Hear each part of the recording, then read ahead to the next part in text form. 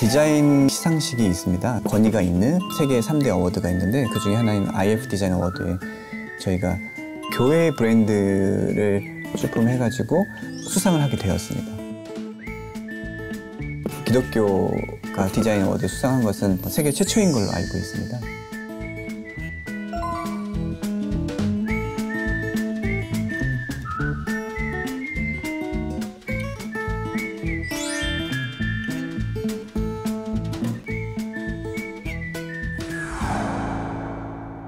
복음을 담아 디자인하는 디자이너 김범준입니다.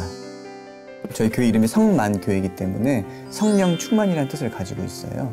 그래서 예수님께서 교회를 이렇게 꼭 안고 있는 모습을 제가 심볼로 디자인을 했습니다. 이 디자인이라는 것을 시각 언어라고 저는 생각을 해요. 커뮤니케이션의 역할은 단순히 이쁜 게 중요한 것이 아니라 소통이 잘 돼야 된다고 생각을 합니다. 그래서 제가 봤을 때는 그 디자인 어워드의 심사위원들이 저희 성만교회 디자인을 보고 아 교회의 다움과 내부의 성도들과 외부의 믿지 않는 사람들과 소통하는 거에 있어서 재밌고 또 효과적으로 잘 표현되었다라고 판단하지 않았을까? 저는 뭐 그렇게 한번 생각해 볼 수 있을 것 같습니다. 네.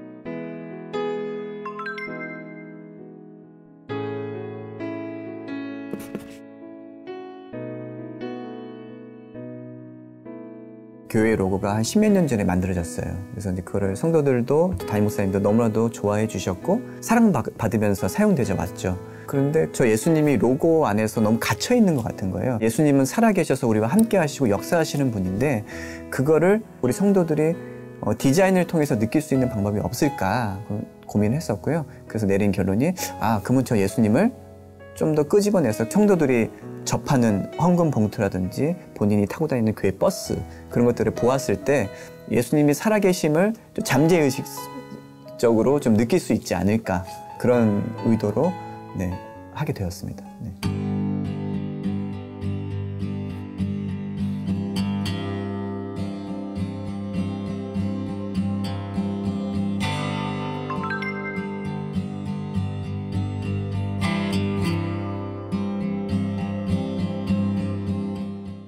문구를 통해서 뭐 이런 말을 들은 적도 있어요. 아, 좀 힘을 얻습니다. 예.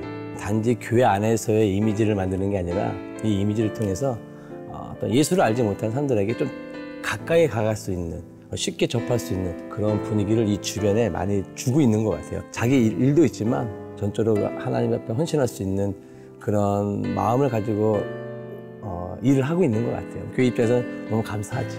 네.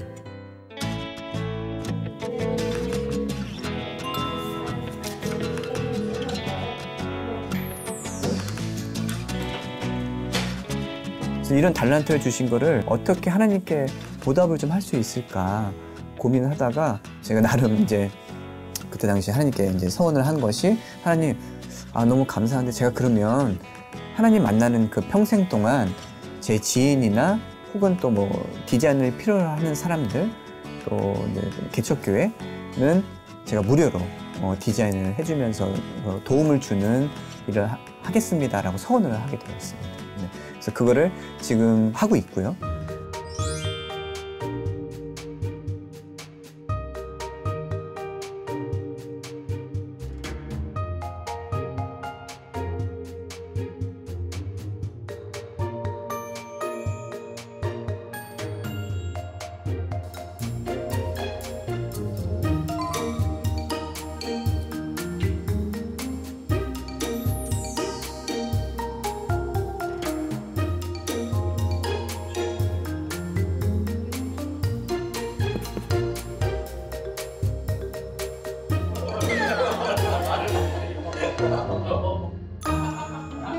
대표님 옆에서 있다 보면서 도전이 계속되고 하나님을 섬기는 일에 있어서 저희가 그런 방향을 잡고 저희 회사가 또 가는 길이 있다고 생각을 했기 때문에 저희가 좀 더 섬길 수 있는 자리들이 더 많아졌으면 좋겠고 그걸 통해서 한국교회가 좀 더 성장하고 제가 그런 역할을 할 수 있는 그런 회사나 저희 직원들이 됐으면 좋겠다는 생각을 했습니다.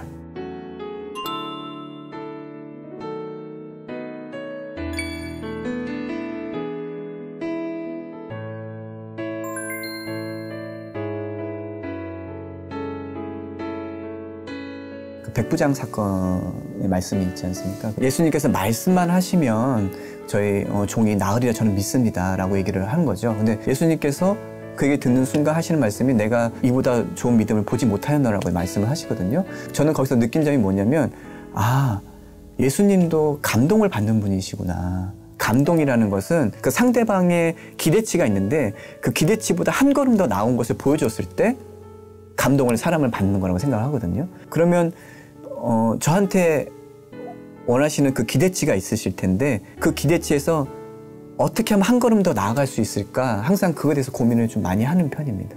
거창한 꿈을 꾸고 싶지는 않아요. 초심을 잃지 않고 하나님의 기쁨이 되는 게 저의 최고의 꿈이고 제 목표예요.